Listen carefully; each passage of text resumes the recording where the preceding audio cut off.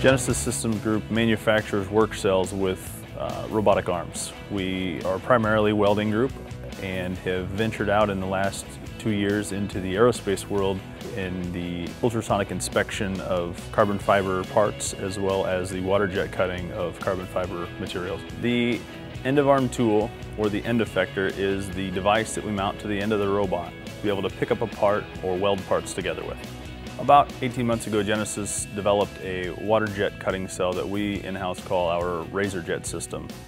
We developed a end-of-arm tool out of the FDM material to pick up a customer part. Once we pick that up, we're able to take that underneath the water jet and cut the part with the water jet while holding it with the FDM gripper.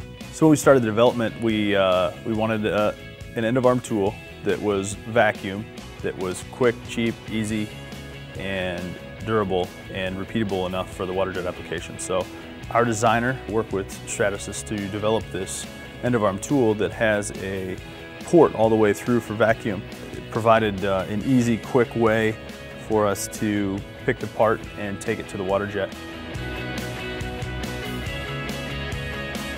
So this design allowed us to incorporate a vacuum and we didn't have to use any outside tubing. We were able to create the vacuum within the part.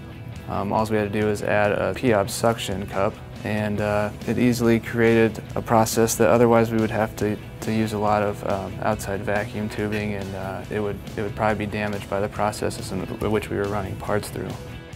Normally it would take weeks to get parts manufactured or made. With the FDM gripper, you can have a new end of arm complete and bolted up to the robot within, uh, within a day or so. So there's quite a bit of cost savings as well as time savings. In comparing the durability of the FDM parts to the traditional grippers that we use, the FDM parts hold up in the inspection world just as well as the traditional manufactured grippers. The water jet is a much harsher environment, um, but we're still able to get the cycles that we need out of that FDM gripper. With the use of the FDM material, it allows our designers to think outside of the box a little bit more and produce something that's specific for the application versus having to design around the manufacturing environment. It, it allows quite a bit of flexibility for them to be able to do that. It's a more enjoyable process. It's, I get to design um, parts that are more organic. I don't have to work with block material.